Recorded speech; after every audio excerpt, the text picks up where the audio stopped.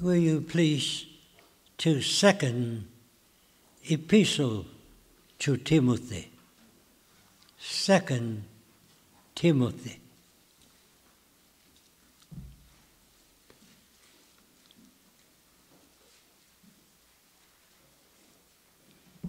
We'll begin with chapter 1, verse 5. 2 Timothy, chapter 1, verse 5.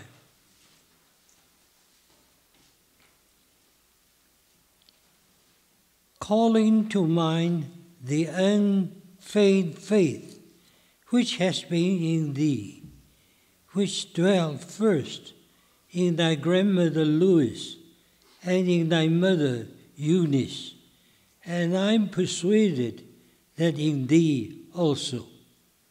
For which cause I put thee in mind to rekindle the gift of God, which is in thee by the putting on of my hands.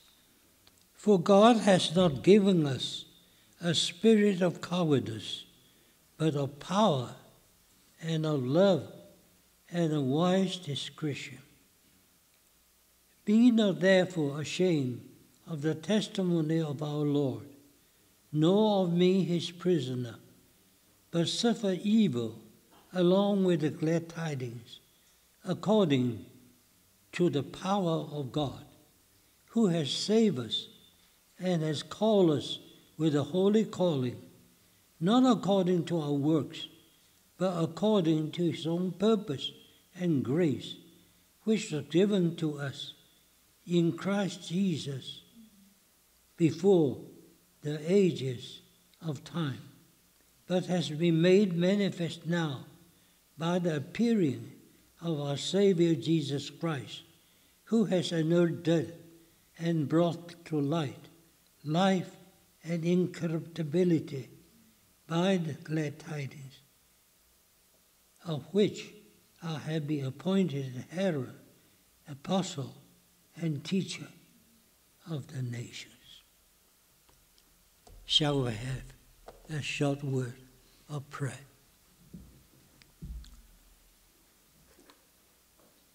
Dear Lord, we want to thank you for giving us this opportunity to be together in thy presence.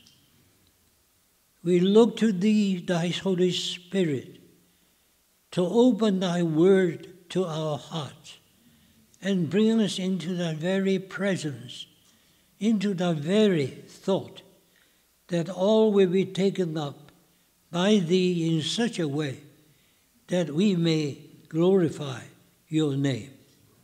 We commit this little time into your hand and trust thy Holy Spirit to do his work to the glory of God. We ask in the name of our Lord Jesus. Amen.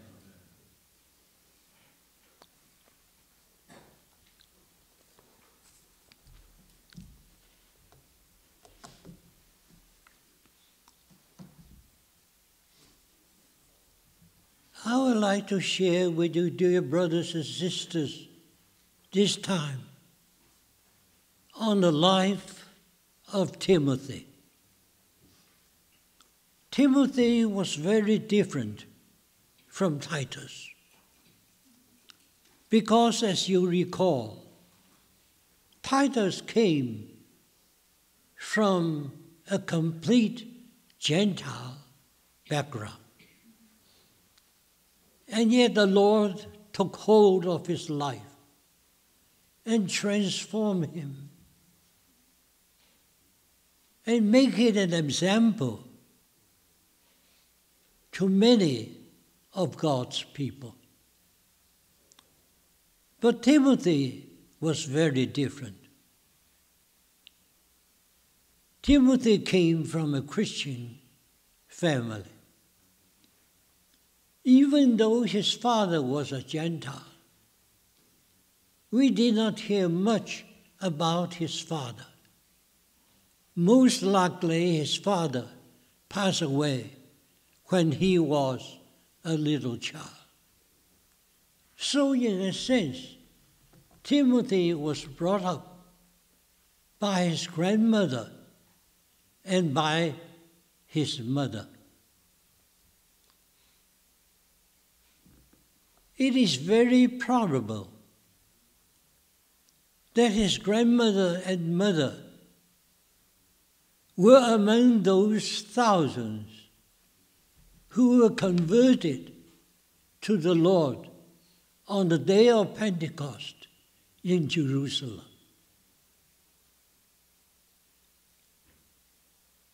So, from his childhood, she was brought up by his mother and grandmother in the Lord. In a sense, he knew the scripture even when he was young. But it was through the Apostle Paul that Timothy came to conversion, to really knew the Lord. When Paul was in Lystra, and this young man grew before the Lord in such a way that both the brethren in Lystra and Iconium recommended him to Paul. So Paul had the intention of bringing this young man with him to educate him and to train him for the work of the Lord. But because his father was a Gentile, so we find Paul baptized Timothy. And then he brought Timothy to be with him. We thank God for the Apostle Paul. How God used him after he was converted. But Paul had a special gift. He had the gift of helping young people grow in the Lord Jesus Christ. So we find in the scripture how he surrounded himself with young people, such as Titus, such as Timothy. He brought these young people with him travel with him, train them, and according to their various gifts, he sent them out to use them in the work of the Lord. So here we find in 1 Timothy how Paul encouraged him in faith. Now, Timothy was a young man totally different from Titus. Titus was an extrovert. That is to say, he was a person who looked outside and forward. He did not look within himself. But Timothy was exactly the opposite. He was an introvert. That is to say, he was a person who tends to look upon his own self, to look within himself. We know that generally speaking, people are divided into two these different groups. Some people are extroverts, They look outside of themselves. But other people, are introverts, they take, they tend to look within themselves. Now, God created us all differently. We cannot say who is better. Whether you are an extrovert or you are an introvert. But God loves variety. So He created us all differently. But however different we may be, He may be able to train us and use us accordingly. So this time, we would like to share together on this matter of Timothy. Because his mother, his grandmother, came to the Lord, probably among the thousands converted on the day of Pentecost, according to the book of Acts. So they brought up these young people in the Word of God. But Timothy was not saved until Paul came and brought him to the Lord. And that was usually the case. I think of myself. Thank God I was brought up in a Christian family. My father came to the Lord while he was in a missionary school. He was greatly opposed by my grandfather.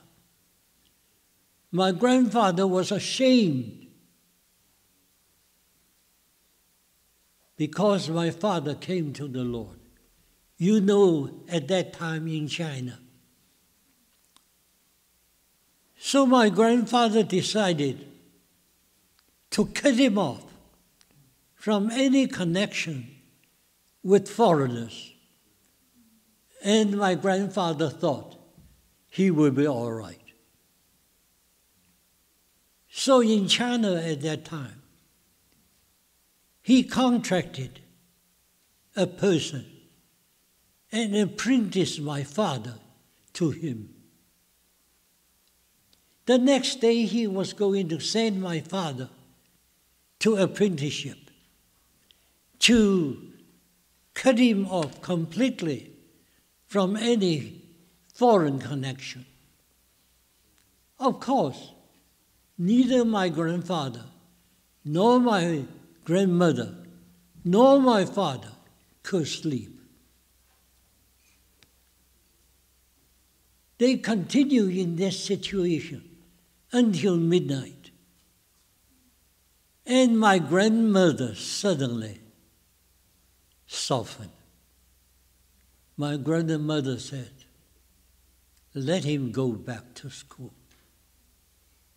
So my father finished school.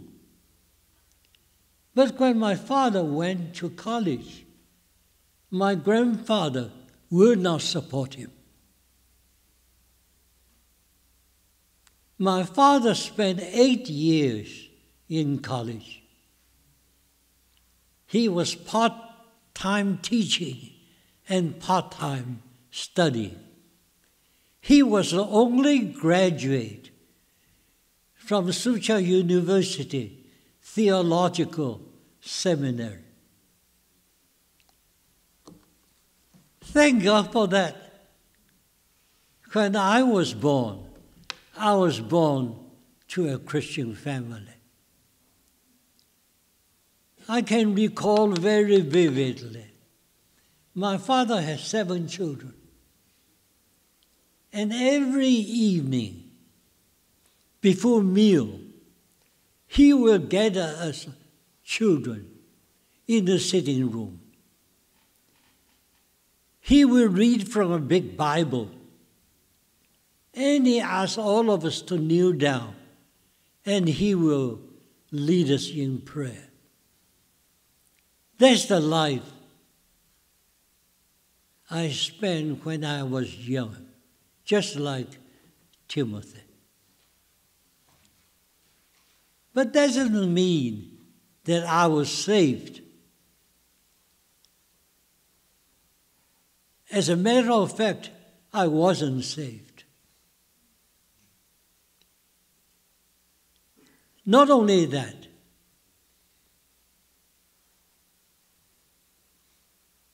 but I consider myself a good man.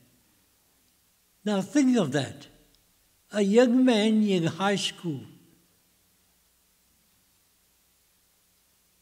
How bad he can be compared with the people in the world. He is to be the model, as it were. So at that time, I consider myself a good man. From my youth, I believe in the Lord Jesus, that He is the Savior of the world. But I do not believe Him. I say, let Him save the world. I'm too good to be saved. But thank God. When I was 14 years old, I was seriously sick. At that time, there was no medicine for my sickness. It all depended whether I could pull through or not. And as a young man, I did not want to die. So I pray to God. I say, Lord, save me. And my father prayed for me. Missionary, pray for me. After four months, I was recovered. So a natural thought came to me. Now, brothers and sisters, even though I came from a Christian family, because I was not converted, so the thought that came to me were all naturals. I thought it was God who saved me. I wanted to do something to repay His goodness. And that was how it all began. It so happened a fellow student of mine came to me and said, Could we organize some Christian meetings in schools. Now that was my opportunity. So we began to organize Christian meetings at schools. We will knock the door of the dormitories, invited students as well as teachers to come to our meeting. We used the library as the place for meeting. They can come and pray with us. A number of students and even teachers came. And I was supposed to lead the meeting. Now, that was easy for me because my father had a big library. He had lots of Christian books. So I went to his library, got a book of prayer, translated it into Chinese, memorized it, and on that evening, I gave a message on prayer. And after I gave the message, I asked everybody to kneel down and pray. And as you know, nobody was saved. So nobody prayed. And after a while, some students began to laugh. And I scolded them. I said, This is serious before God. We cannot laugh as it were. That was how I led the first prayer meeting. And I even preached before I was saved. I went to my father's library. I still can remember.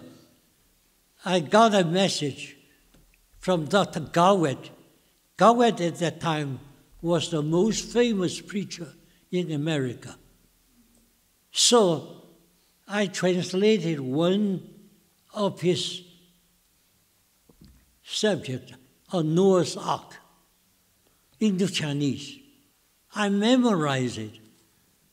And on Friday afternoon, after school, I began to preach on Noah's Ark.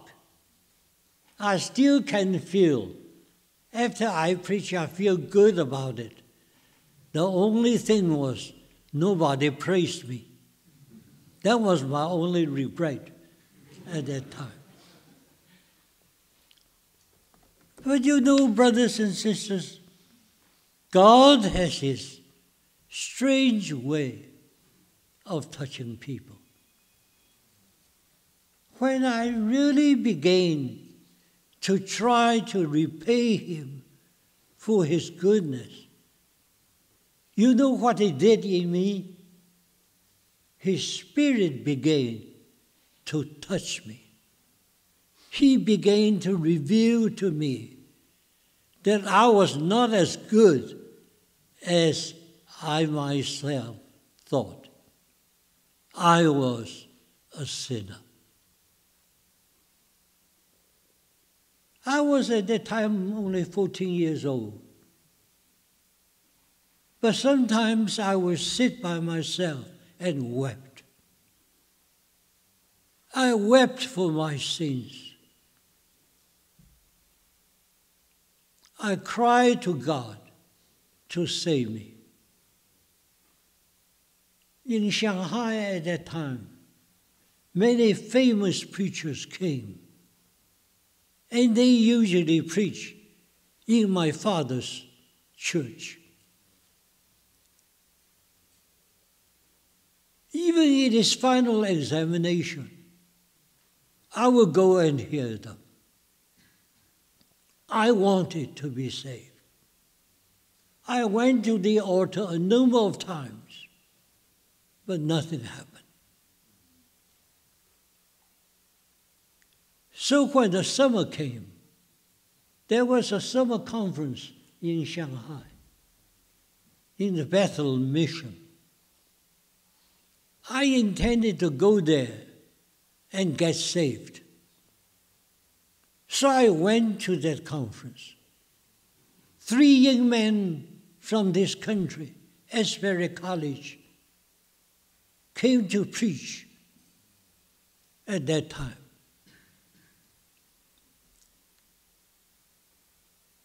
But what they preach, I already knew. Nothing was new to me. After a few days, I still wasn't saved. I remember I was sitting in my own room one morning.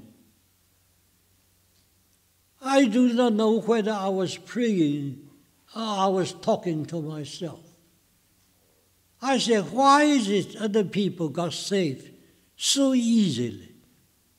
And it is so hard for me to get saved.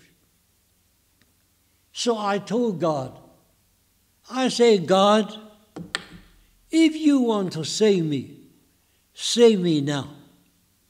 If you don't, goodbye. That afternoon, I went to hear Mr. Kilpatrick, a young man. He spoke on John 3:16. I knew it all. Nothing was new.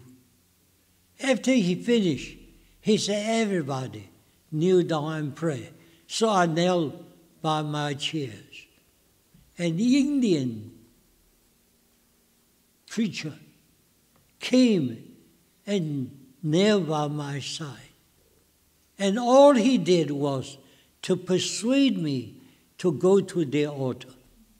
Now, I have been there a number of times, I didn't want to go anymore, but out of courtesy, I went.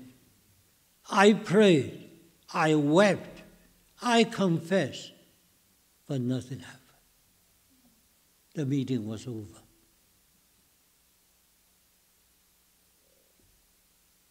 Hundreds of people were in the meeting. But when I was walking out, a Chinese brother, he wasn't a pastor yet, he was just a preacher. He must be noticing me. So he stopped me. And if I told you his name, those who are older would know him, Andrew Gih He was at that time a young preacher. He stopped me. And he point blankly asked me this question Are you saved? Probably he was thinking, I must be saved because he was noticing me. But I had to be honest. I said, I want to be saved. So he stopped me. Everybody left, just the two of us, in the big auditorium. He asked me the question Do you believe the Bible is the Word of God? I say from my childhood. He said, Turn to 1 John chapter 1, verse 9. So I turned to 1 John chapter 1, verse 9. He said, You read it. You put your name in it.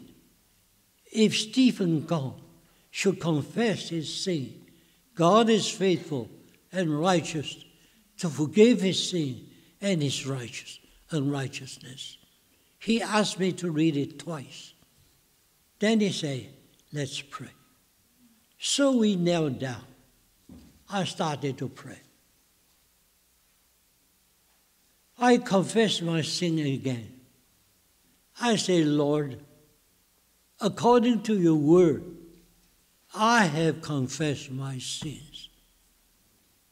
I have done my part. Now it is your part. Whether you will save me or not is up to you. You know what? Immediately I felt such peace in my heart. I got up. So he asked me, Are you saved? I say, I am.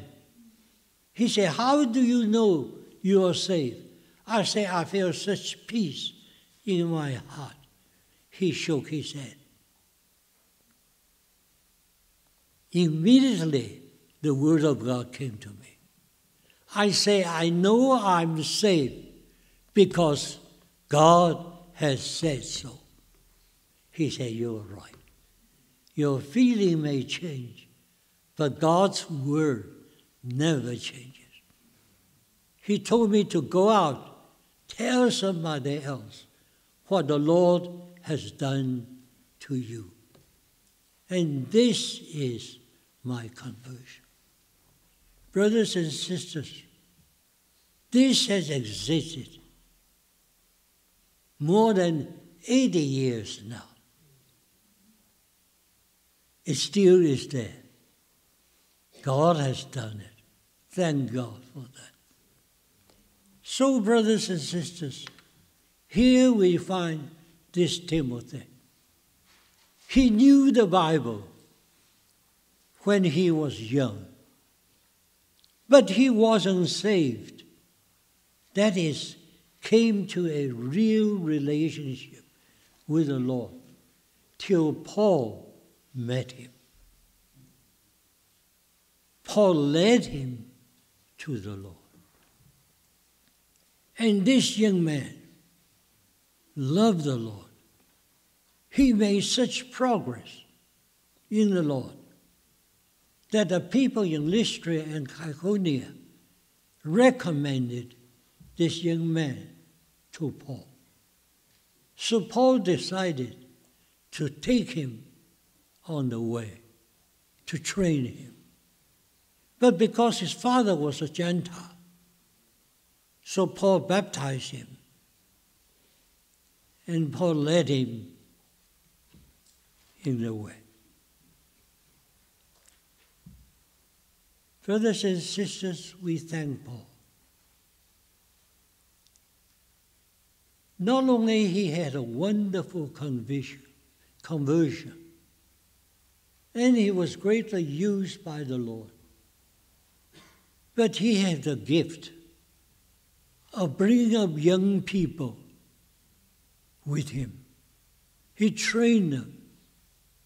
He helped them. He sent them out. He used them for the work of the Lord. And Timothy was one of the people used by the Lord. But Timothy, as we say, was an introvert. That is to say, he is a person who tends to look within himself, not an extrovert that looks outside of himself.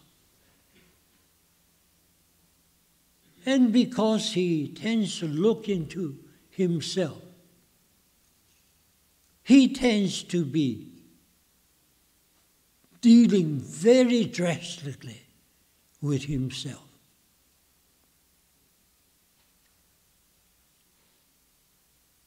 The Apostle Paul, you know, at one time said, Timothy, you can drink a little wine because of stomach, stomach problem. Now he dealt himself so strictly he would drink no wine. So Paul had to help him to see that for his health's sake he may do so. Timothy is a person who is an introvert. He looks into himself and deals with himself very drastically. So Paul tried to help these young people to look outside of himself. Brothers and sisters, if you look into yourself, what will be the result? There can be only two results. One result is you look into yourself and you find yourself so good then you become elated. Or you look into yourself and you find yourself so bad that you become disappointed. So people who are introverts usually looking into your own self will usually be people pessimistic. Timothy look at himself and dealt drastically with himself.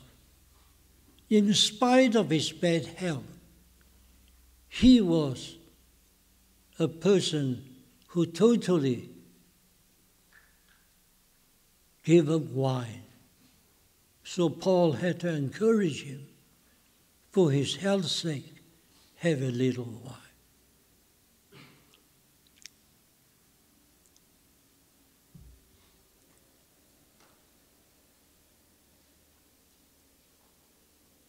Throughout his life with Paul. He was the closest to Paul. Paul knew his weakness. Paul knew what he needed. So when you find in the letter of Paul to Timothy, he encouraged him to faith. In other words, he said, You don't look into yourself, you look off unto Jesus. the author and finisher of faith. He helped Timothy to look off unto Jesus. He helped Timothy to live a life of good conscience and unfeigned faith. Even though he was a young man, he became an example to the people in Ephesus. And God used him in that way. And that is Timothy. So, brothers and sisters, we are all different. God created every one of us different. We thank God because God loves variety. So don't be disappointed or elated because you are an extrovert or because you're an introvert. That is just the way God loves variety. But whether you are an extrovert or an introvert, if you put yourself in the hand of God, He is able to use it. He is able to moderate you. He is able to use it in a way that we really perform the purpose of God. And that is what we find in First Timothy. So, dear brothers and sisters, I believe that among you here this morning, there might be people who have the same temperament as Timothy. And because you have the same temperament as Timothy, you tend to be passive. You tend to look upon yourself and disappointed at yourself. But dear brothers and sisters, you don't need to. Because the Apostle Paul encouraged you to look off unto Jesus, the author and finisher of faith.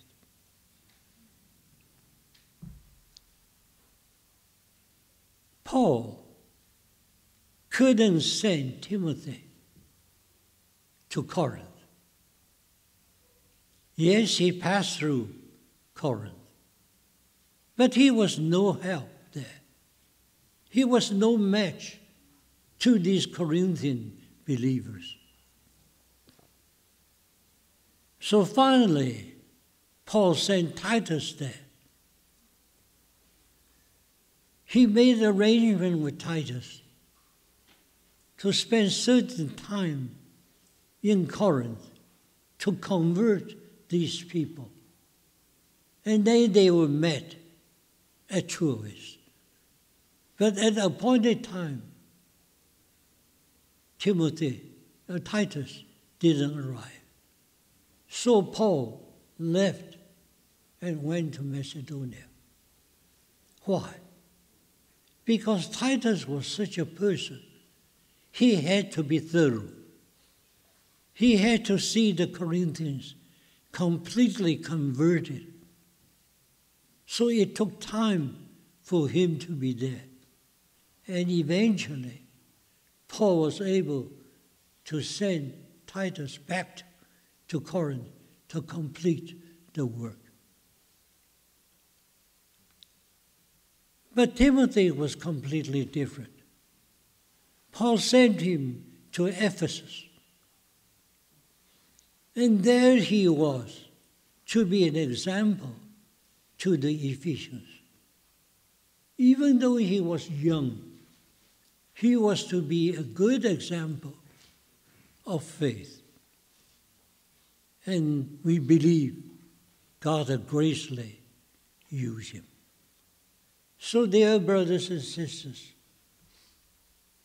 whether you are an extrovert or an introvert, if you put yourself in the hand of God, God is able to transform you.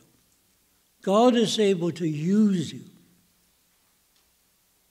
Just as he was able to use Titus as well as Timothy. So, this is the purpose of our time this morning.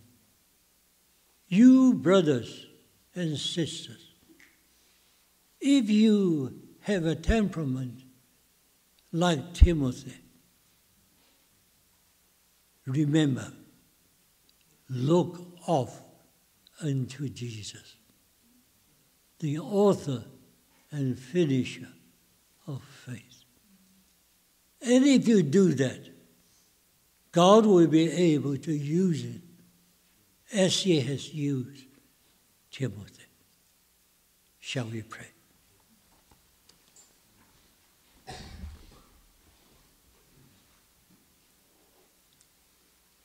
Dear Heavenly Father, we want to thank you because you are able to use whatever kind of person we may be. Whether we be an extrovert or we be an introvert. Lord, if we put ourselves in your hand, you are able to transform us, able to use us accordingly. So, Lord, pray that thou will take each and every one of us here this morning, whether we are an extrovert or an introvert, we come to give ourselves totally over into your hand and pray that thou will work in each and every one of us until thy purpose can be fully realized through each and every one of us. We want to give thee all the praise and the glory in the name of our Lord Jesus. Amen.